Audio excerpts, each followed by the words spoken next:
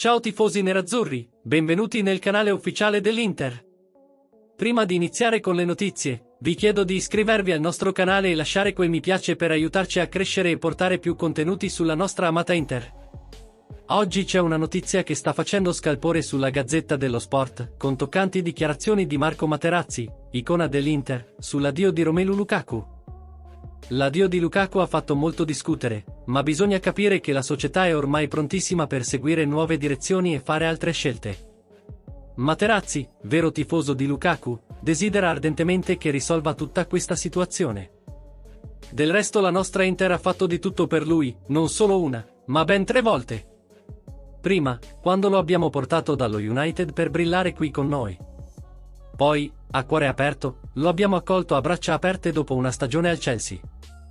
E infine, dimostriamo quanto vogliamo riacquistarlo, riaffermando l'amore e l'importanza che ha per noi. Ma quello che Materazzi vuole davvero è che Lukaku si comporti davvero gentiluomo, proprio come Onana. Possa mostrare il suo rispetto e affetto per il club e i tifosi condividendo le sue vere emozioni a cuore aperto. Questo servirebbe a evitare fraintendimenti e a sottolineare il rapporto speciale che il fuoriclasse ha sempre avuto con l'Inter. La partenza di Lukaku è stata dolorosa e Materazzi capisce quanto tenesse a noi, così come noi teniamo a lui. Pertanto, sottolinea l'importanza che Lukaku parli apertamente dei suoi sentimenti.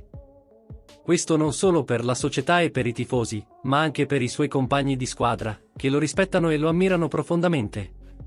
All'Inter trattiamo sempre i nostri giocatori con cura e rispetto, e non abbiamo mai visto un giocatore lasciare il club dopo uno scudetto perché sognava altri posti. Lukaku è stato riaccolto con amore e gioia come un figliol prodigo, e la sua partenza ora, in questa forma, è come una pugnalata nei nostri cuori. Ricordiamo tutti i fantastici momenti che Lukaku ci ha regalato e gli auguriamo successo nelle sue nuove sfide.